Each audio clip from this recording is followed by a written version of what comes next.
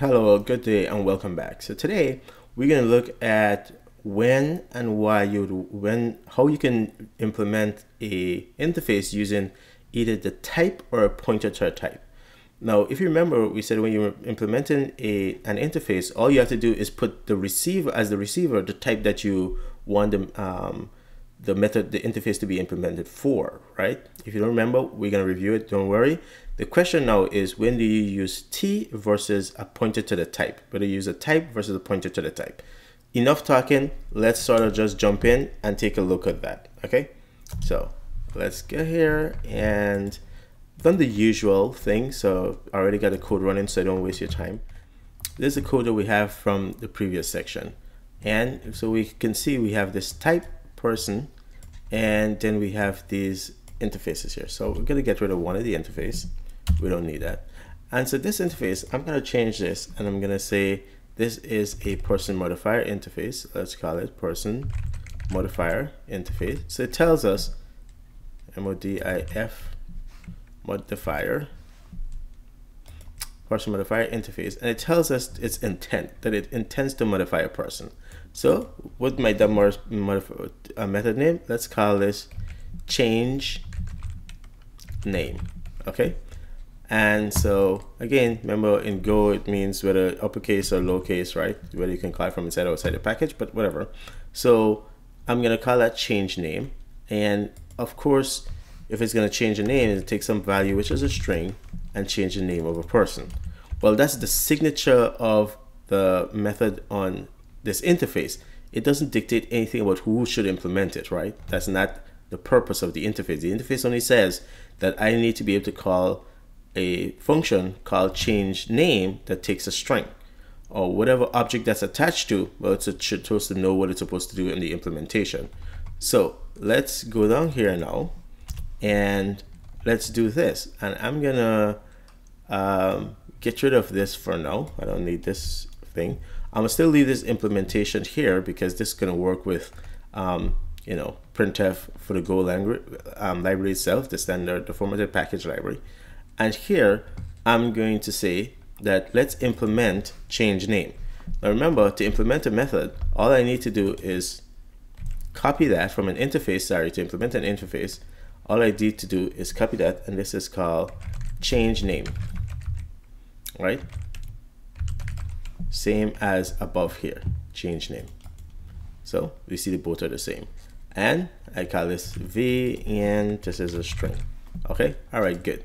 So this is supposed to change the name. Well, the way I imagine this working is that the receiver is going to be passing here because I want to implement this change name to, ah, you know what might be a better name for this? Is called this guy name changer. Haha, name changer, okay? And name changer, I want to implement name changer for person. Now I could also implement name changer for when I was doing ducks that had a name field, I could have done that too. So, okay. So name changer, I want to implement it for this method. So I have the method here. So obviously now I'm implementing this interface. If I can define my receiver here, which I'm going to say, I want to do it for P, a person. So the person type. Okay. Does that make sense? So we always said, so the method, when you're implementing an interface, you put the method and then you say which type is the receiver. And that tells you that you're implementing this method for that interface. And then if you have implemented all the methods defined in the interface, therefore you've implemented that interface. Okay, it doesn't matter if it's overlap with another interface or not. That's not important. So what do I want to do here? Here, I want to say p that name is equals to v. So I am overwriting, I'm doing exactly what this thing says. I'm changing name of this object that's passed in here, right? This receiver. So now the question is, uh, we don't have this method anymore. We don't have this. So the question is, if I do something like this, where I print out Jane and then I call Jane that change name. Of course, now you see Jane supports change name, right? So Jane has the fields age and name. It also has the method string from here. And then now it has this function change name. So change name. I want you to change your name to not Jane, but um, let's see, Mr. Rose. All right, so we can change name Jane's name to Mr. Rose, and we're gonna print it again. And what we expect is to see, you know, the name change. So let's run it and see. Oh, not that. I want to do go run main. And of course, look at that. The name wasn't changed. Well, you shouldn't be surprised. You should have been a little bit suspicious when I told you that this method is called change name and I actually want to override the name. You should have seen that here the receiver is just um, a variable, right? Which is, we know it's going to be cost, passed a copy of this, is going to be passed a copy, right? It's just almost like a parameter, right? It's, it's just that it's here in the receiver place, but you can think of it as a parameter. For people who come in from like C++ or, you know, Python or something, you might be thinking that, oh, you know, behind the scenes, the compiler is sort of doing something called self person. And here, you know, you're doing that. Okay. And of course, you don't really see this call to self. So when you in make an invocation like Jane that that that behind the scene is actually passing Jane here and then the rest of the parameters. But of course, you don't see it, but you could think of it that way. I'm not going to confuse things by going down the road further. I'm just gonna we're just gonna say that here Jane is being passed in this receiver is a copy of Jane. So when you get in here and we change it, of course it changes it. But since it's just a copy, when we come back out from that change name method, um, it, it doesn't apply to Jane itself because it was a copy. And we can prove that by going in here, putting this in here, and then printing P and we'll see that P does have the name whatever, Mr. Rose, right? Because that was a copy. Only copy passed in there. So if time you see these function parameters, just remember it's passing by copy. So if we really wanted to change the name, we know how to do that. We know that if you want to affect the actual underlying object, because since you don't want to pass a copy of that old person object, but a pointer to it, and now we're saying something different. Now we're saying the receiver is a pointer. And um, now since I have a pointer to that object that's passed in, I'm going to change the name. Now we know from pointer arithmetic that um, in Go, if you have a pointer and then you can call a field on it like this, you don't actually have to dereference the pointer first. You don't need to actually say something like um, dereference this pointer P and then call um, thing. That would work, but for syntactic sugar, Go just make it, Golang makes it super easy for you.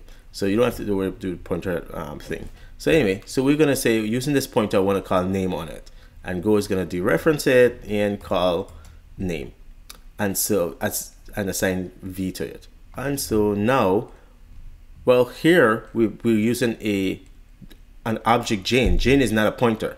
So you might be thinking, well, Verrol, shouldn't you really be doing something like get the address of Jane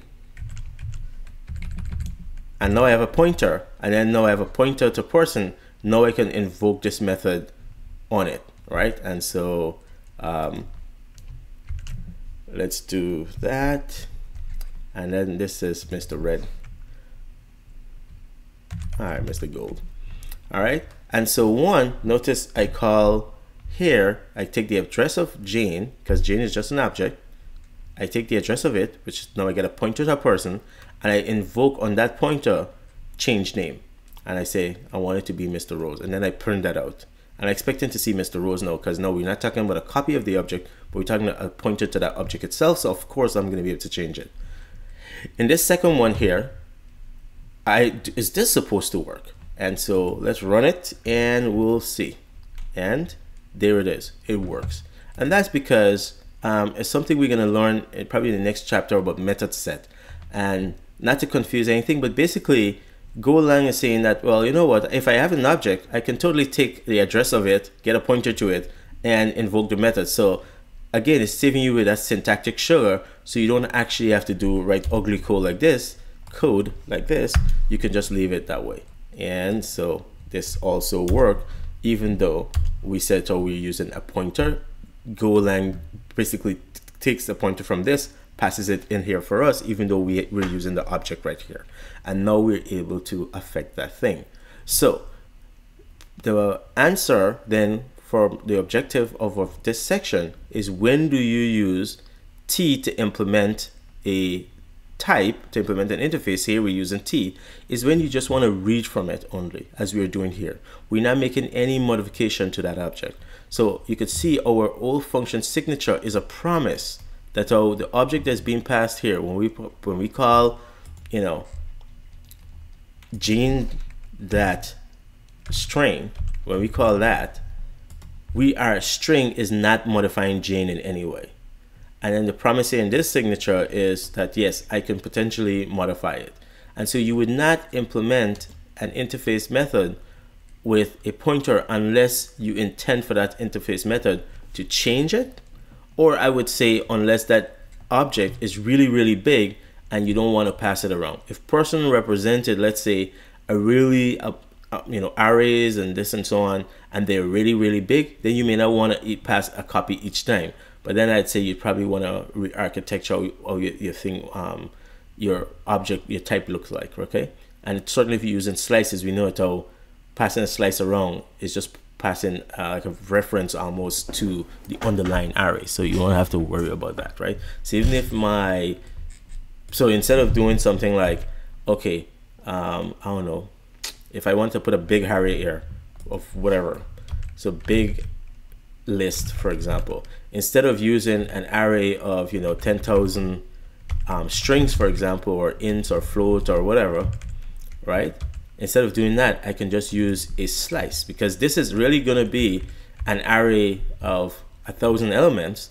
Whereas if I can use a slice, I know that there's an underlying array that I'm going to be able to create and, and point here. Okay. So uh, there's ways to get around to make sure this object is not too big. But if you ever get to that point, you might need to rethink um, your design if you're worried about the copy taking long. I don't want to make this, this video too long.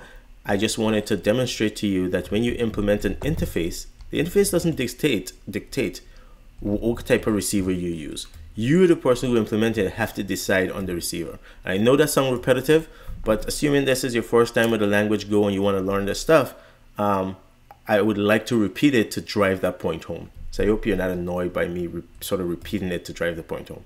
All right, see you in the next video, and we're going to use sort of this information that uh, we can implement an interface with methods that are pointers to the receiver or just the type, which is just copy of that type, and we're going to start talking about method sets.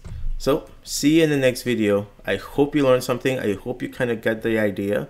Um, so I'll leave it here and maybe if you have some question, then I'll um, think. And the code runs by the way. So the code still runs. So we can go back here and run the code. So it's not broken in any way. All right, take care. See you in the next video. Please continue to subscribe. Please continue to post questions if you have them and take care. Have a great day.